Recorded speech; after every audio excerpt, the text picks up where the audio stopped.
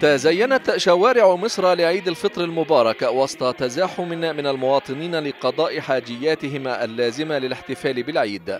لكن الحلويات والكعك والبسكويت وغيرها ستظل معلما من المعالم التي تميز عيد الفطر المبارك خاصة صناعة الكعك في البيت المصري البسيط.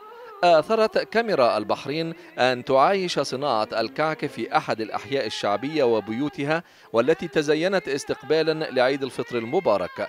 ودخلت البيت وتجولت وتابعت الاحتفاء بصناعة الكعك مع إحدى العائلات البسيطة وأولادها وأطفالها. دي حاجة خدناها عن أهلنا إن إحنا اتعودنا إن إحنا نعمل حاجتنا بإيدينا. سمنتنا عارفينها نضيفة دقيقنا حاجتنا.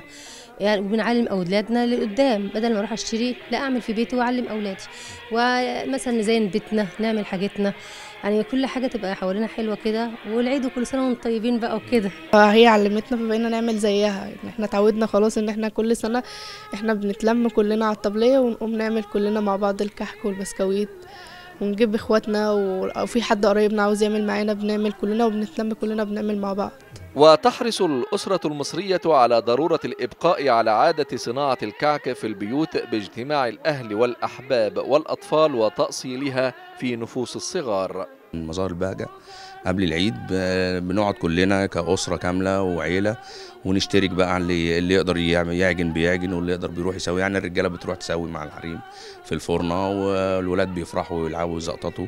وإحنا جايين في بالصاجات ممكن شباب من أولاد المنطقة يمد إيدهم في الصاج وياخدوا بسكوت ياخدوا كحكه وتبقى الفرحة مشتركة بيننا وبين الناس في الشارع حتى.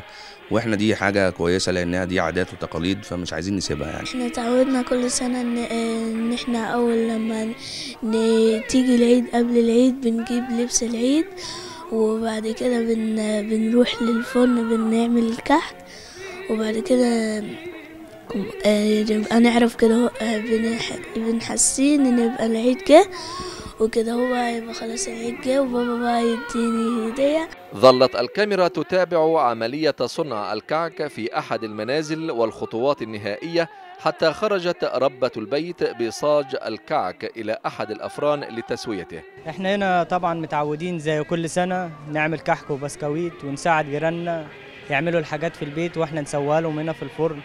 وطبعا ده بنحب بعضينا والعيد فرحة علينا كلنا.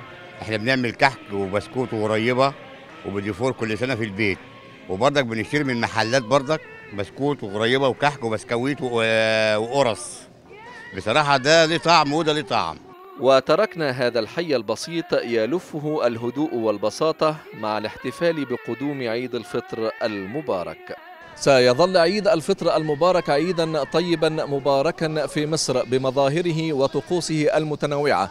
خاصة صناعة الكعك التي تتميز بها البيوت المصرية وخارج البيوت المصرية.